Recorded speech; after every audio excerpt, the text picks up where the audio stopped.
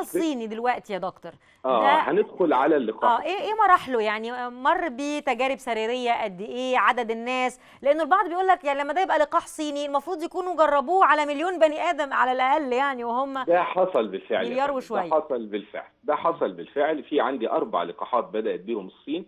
فيهم ثلاث لقاحات بيعتمدوا على الفيروس نفسه أو آه بعض آه بروتينات الفيروس اللي بيحصل لها آه عدم نشاط بشكل معين. أو killing إن أنا أموتها بشكل معين أو أضعفها.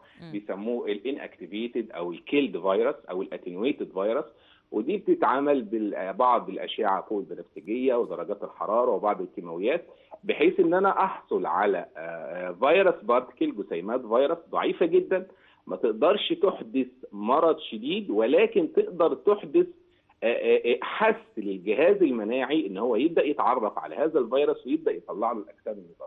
دول ثلاثة وفي النوع الرابع اللي بيعتمد على المادة الوراثية للفيروس. الفكرة بتبدأ بحاجة اسمها ال pre-clinical study وده عملته الصين بالفعل يمكن من شهر اتنين ولا حاجة.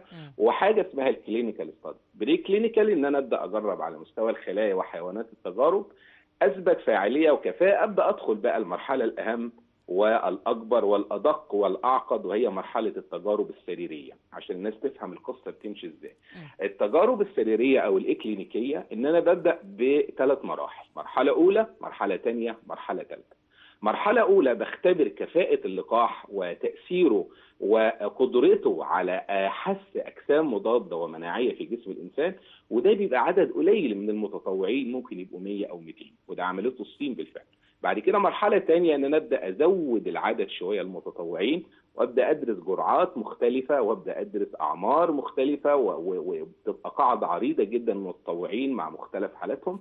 المرحلة الثالثة ودي اللي عملتها الصين بالفعل على مليون و450 ألف مواطن. ده حصل بالفعل داخل وخارج الصين. عشان نتكلم بدقة داخل الصين وفي بعض الدول أيضا تطوعت في المراحل السريرية الثالثة على اللقاح الصيني منهم الإمارات ومصر وبعض دول أمريكا اللاتينية وخلافه أثبت فاعلية بشكل كبير جدا تتجاوز ال 90% وأثبت أمان بشكل كبير جدا. مم. المرحلة اللي بعد كده نقدر نسميها مرحلة تنظيمية بشكل كبير وهو إن أنا ال data دي بقى بتتجمع وتبدأ تتعرض على المجتمع العلمي وتتحكم وتتنشر.